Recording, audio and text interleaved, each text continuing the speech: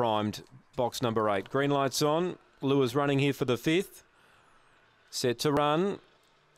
They're ready. Racing. Favourite Dakota Roxy began well off the inside. Now Whalen Bale actually began a bit better tonight. It's second behind the leader.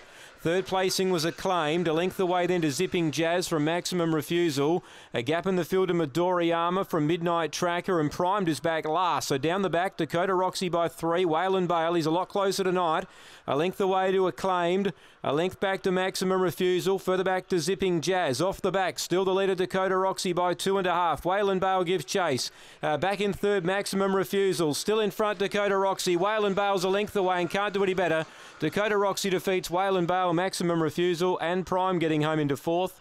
Then zipping Jazz, Midori Armour, Midnight Tracker, and acclaimed. And the winner, Dakota Roxy, has gone around 34 39. Number one defeats Whalen Bale, who ran a terrific race tonight at big odds.